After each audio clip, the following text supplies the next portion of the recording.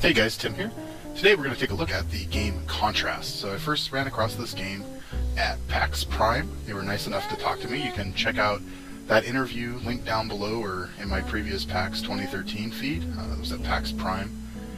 And, you know, it's one of these kind of 1920, um, I don't know if you call it Art Nouveau, but, you know, it's definitely got this, you know, good 20s Art Deco feel.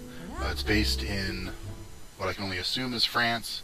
Um, it's definitely an interesting game. Uh, it's a unique platformer. So take a look at some gameplay and I'll come back with my final commentary. Now we go this way. Follow me.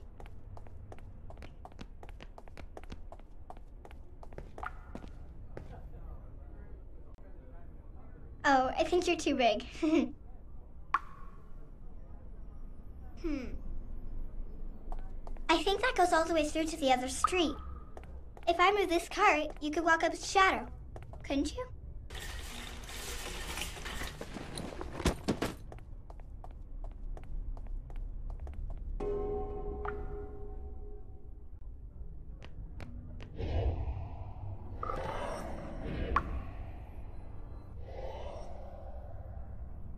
See you at the ghost now.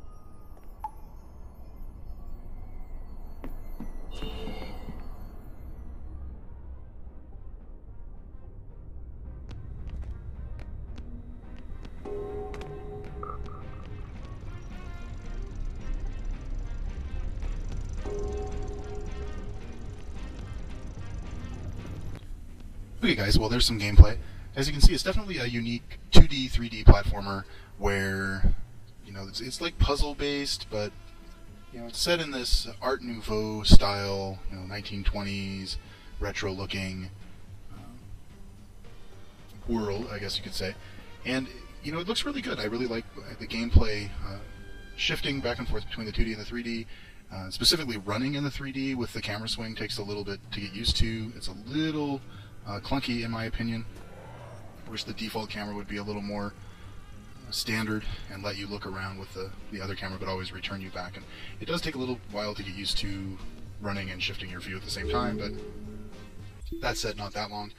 Uh, it's a it's really a fun game. This is more like uh, if Bioshock didn't have shooting, I would equate this to that, where it's more of a you know you're playing a movie than you're playing a game, right? I mean, it's a puzzle game, but it also feels very cinematic, and the audio on this is awesome. Um, I really like the songs, I really like the background music, I really like the sound effects. It all sounds great, really high production quality, and it's from an indie studio. So take a look, guys. Supporting stuff like this is how we get more indie stuff in the future. Did you always Now, want to be an acrobat? some gratuitous moves in shadow form. You're so good.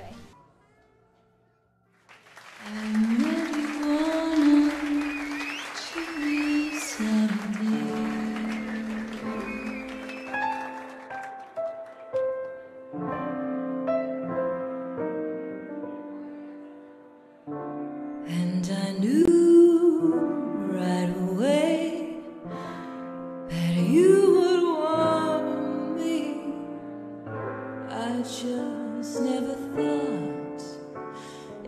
hold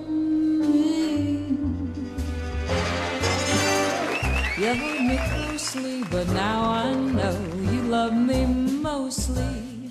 Sorry, Joe. You ain't a lover, you're a house on fire. I'm burning so. You hear that siren coming,